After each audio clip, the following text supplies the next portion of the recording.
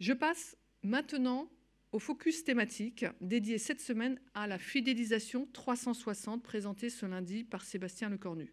Le ministre s'est exprimé devant des centaines de présidents de catégories, sous-officiers, officiers et militaires du rang, ainsi que toute la communauté en charge de la politique des ressources humaines et de la condition du personnel du ministère. Étaient également présents les hautes autorités, les élus, des entreprises partenaires, des associations de familles de militaires, des représentants d'organisations syndicales, ainsi que le haut comité de l'évaluation de la condition militaire. Alors que la loi de programmation militaire 2024-2030 place l'humain au cœur de l'ambition de défense, le ministère des Armées poursuit les efforts engagés au profit de l'attractivité et de la fidélisation. Les mesures présentées ont ainsi pour objectif d'améliorer les conditions de vie et de travail des militaires, des civils de la défense et leurs familles, et de renforcer l'attractivité des carrières. La logique 360 permet d'agir sur tous les leviers ressources humaines, logement, santé, accompagnement des conjoints, rémunération, organisation pour un effet démultiplicateur. Au total, une quarantaine de mesures permettront d'amorcer le nouveau tournant et elles s'inscrivent dans une démarche d'amélioration continue et partenariale, notamment avec les collectivités. Elles ont donc vocation à être enrichies. Pour le ministre, simplification, pragmatisme et souplesse, c'est l'état d'esprit qui doit animer la politique RH du ministère des Armées dans les années à venir. Nous devons continuer à conserver nos talents en répondant efficacement à leurs attentes. Pour plus de précision, je vais céder la parole au directeur des ressources humaines du ministère des Armées, M. Thibault Devancé. Merci beaucoup. Bonjour à, tous. Alors, euh, comme l'a dit euh, Olivia Pénichou, euh, il s'agit moins d'un plan que d'une mobilisation générale. la réalité, comme l'a dit Sébastien Lecornu, nous oblige à regarder avec lucidité la situation de nos ressources humaines du ministère et euh, que nous dit ce regard? Euh, Ça nous dit euh, deux choses. La première, c'est que les armées continuent à attirer énormément. contrairement à, ce qui peut circuler, nous n'avons pas une crise de recrutement. On a connu sur une catégorie dans une armée en 2023 un trou d'air s'agissant du recrutement des militaires du rang. Mais pour le reste, euh, que ce soit 2022 ou 2023, euh, nous avons tenu nos cibles de recrutement. Euh, et notamment, le ministère des Armées est extrêmement attractif pour des collaborateurs civils. Euh, c'est un fait nouveau. Aujourd'hui, on recrute très très bien euh, du personnel civil. S'agissant des militaires, euh, j'ai eu l'occasion de, le, présenter au ministre. Les, taux de, sélectivité chez les officiers sont encore très élevés. en revanche, le taux de sélectivité des sous-officiers et des militaires du rang baisse depuis 10 ans. Et notre sujet, notre sujet, c'est que nous avons des ambitions pardon, de recrutement qui sont aujourd'hui difficilement soutenables. Pour ceux qui connaissent la chose de défense, vous savez que 68% des militaires servent sous contrat, qui font euh, une, passent une durée relativement brève dans nos armées, puisque nous avons besoin de jeunesse. Et donc c'est bien le solde entre les entrées et les sorties qui nous pose une question. Nous avons l'obligation de réduire le volume annuel de recrutement qui est une conséquence directe du volume de sorties. Donc nous devons agir d'abord sur les sorties anticipées et donc agir sur la durée moyenne de service des militaires, militaires du rang, sous-officiers, officiers au, euh, au ministère des Armées. C'est en conservant ces ressources un peu plus longtemps, le ministre a fixé euh, des, objectifs euh, chiffrés que nous suivrons, que nous réduirons le flux de recrutement, non pas parce que euh, nous ne pouvons pas faire, c'est que le taux de sélectivité diminue. Si on recrute 5000 militaires durant deux mois chaque année, si, pardon, si on, on garde les militaires durant un an de plus en moyenne, on recrute 5000 militaires durant chaque année. Et donc, mécaniquement, comme les armées continuent à attirer, nous aurons un taux de sélectivité plus élevé. Donc nous aurons des meilleurs profils, donc nous aurons des jeunes femmes et des jeunes hommes qui resteront plus longtemps parce qu'ils seront plus adaptés aux exigences du métier militaire. C'est ça la manœuvre. C'est agir sur la durée moyenne de service des militaires, au sein euh, des armées. Ça a des conséquences très euh, concrètes et des objectifs RH très concrets. Conserver plus longtemps les militaires du rang, les sous-officiers, les officiers, ça permet de rentabiliser la compétence, l'expertise acquise, fruit d'années de préparation ou d'emploi opérationnel. Pour faire un ravitaillement euh, de nuit euh, sous euh, jumelles de vision nocturne, euh, c'est on y arrive parce que ce sont des exercices répétés, répétés. Et donc la capacité opérationnelle de nos armées, elle dépend en partie à la fois euh, du niveau d'entraînement, mais surtout de l'ancienneté moyenne des officiers, des sous-officiers et des militaires du rang. Donc il y a des objectifs opérationnels très clairs.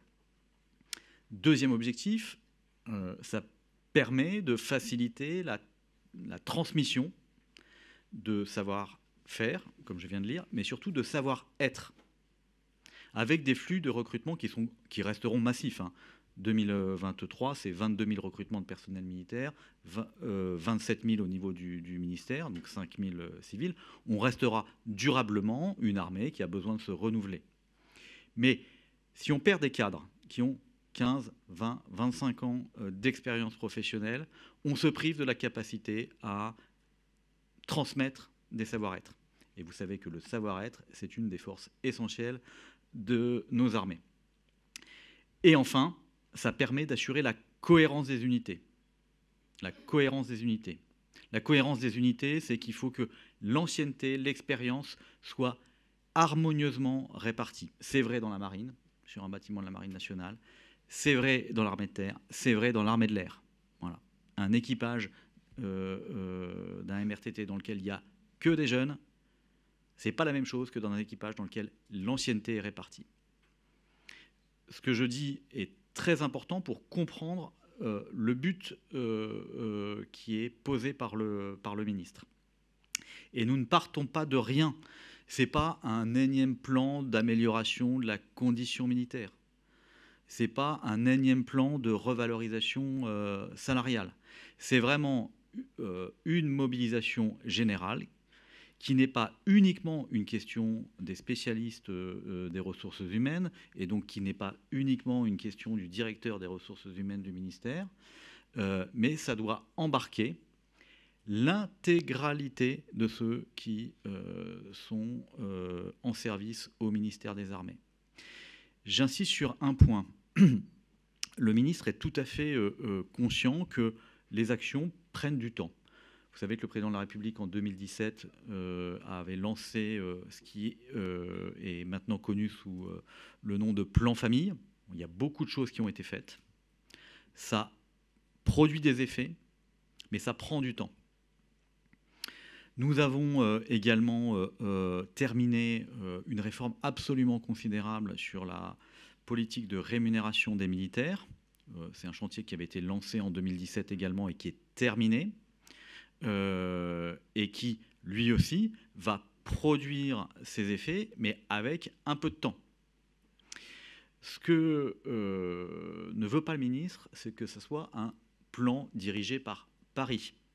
Donc je suis devant vous ce matin parce que j'en ai la responsabilité en partie, mais l'ambition, c'est bien que avec des mesures très concrètes, ce soit le terrain qui réponde aux besoins très direct, très concret, et je vais y venir, des militaires et civils du ministère. Très concrètement, ça prend quelle forme? Alors, derrière moi s'affiche une, une, une, infographie. On a un facteur qui est aujourd'hui très bien documenté, qui explique le départ précoce, euh, ou en tous les cas trop précoce, des militaires de l'institution. C'est celui de la mobilité géographique. Mobilité géographique, euh, ça a un certain nombre de conséquences sur la vie familiale et sur l'équilibre entre la vie professionnelle et la vie euh, familiale de nos militaires. On a euh, travaillé pour identifier euh, les mesures qui pouvaient alléger, simplifier, reconnaître les suggestions liées à cette mobilité. J'en prends une pour vous montrer le caractère très concret. Quand un militaire est muté, il a, dans la plupart des cas, un changement de domicile, un changement de résidence euh, géographique et donc un déménagement à faire. Aujourd'hui, à peu près 14% euh, des déménagements laissent une part des frais de déménagement à la charge du militaire. C'est euh, le jeu euh, des règles d'indemnisation, ou en tous les cas de remboursement des frais de déménagement. Le ministre a demandé à ce que, assez rapidement, il n'y ait plus de reste à charge pour le militaire qui déménage, pour que finalement, cet changement d'affectation, et donc les conséquences très pratiques de, ce changement d'affectation, euh, ne soient pas mal vécues par le militaire. De la même façon, euh, et ça c'est pas propre euh, aux, militaires, euh, changer de changer d'affectation, changer de garnison, ça entraîne très concrètement la perte de son médecin traitant. Et, donc si on n'a pas retrouvé un médecin traitant, eh ben on paye le forfait qui est prévu par la sécurité sociale. Et par ailleurs on n'a pas accès aux soins.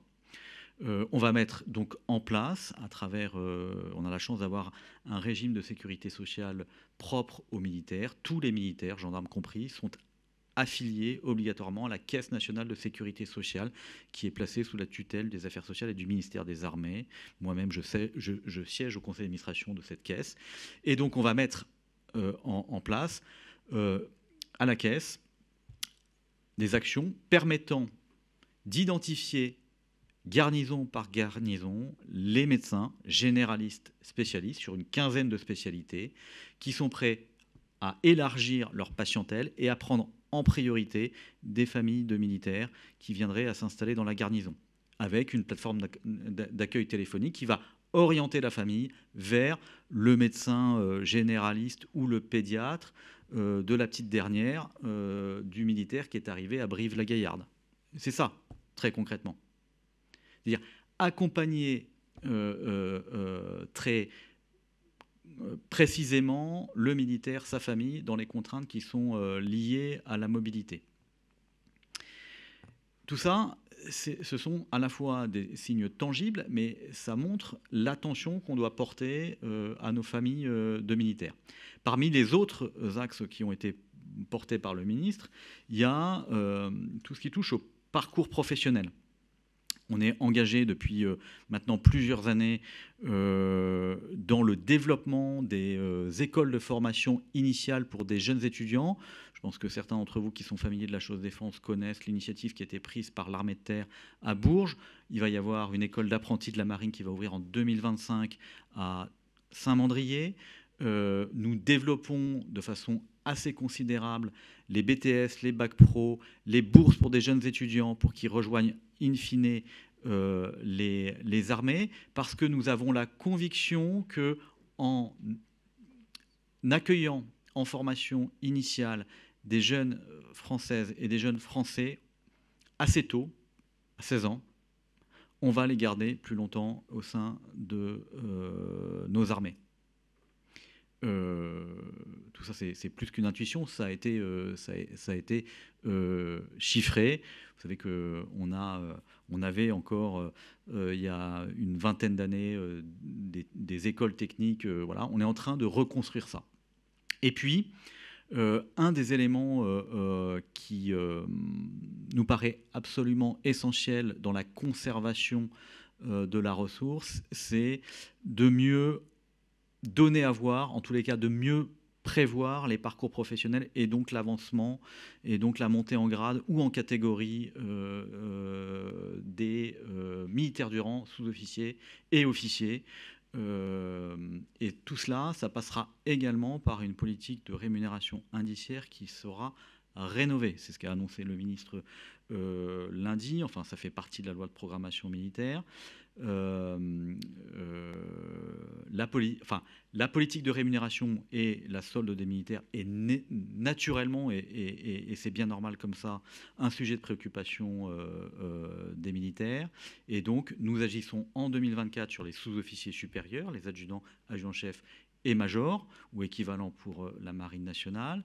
Et en 2025, nous agirons de façon assez massive sur les officiers pour redonner en fait de la différenciation en fonction des grades et inciter chacun à progresser dans la, carrière professionnelle et donner des perspectives de long terme de progression euh, sur, euh, sur la rémunération.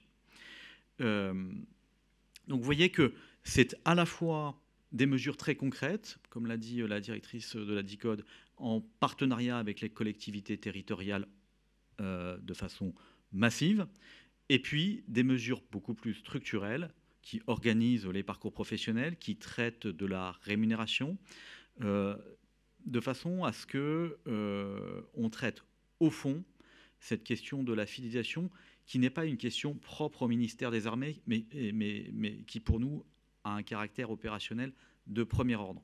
Toutes les organisations sont confrontées à la volatilité euh, d'ailleurs toutes catégories confondues, hein, euh, chez les employés, chez les cadres de maîtrise, chez les cadres, chez les cadres sup, une volatilité accrue. Tout ça, c'est parfaitement documenté. Nous ne sommes pas épargnés par ce mouvement, mais nous ne pouvons pas rester euh, l'arme au pied, si vous me permettez l'expression, face à cette situation. Il en va de la cohérence de nos unités.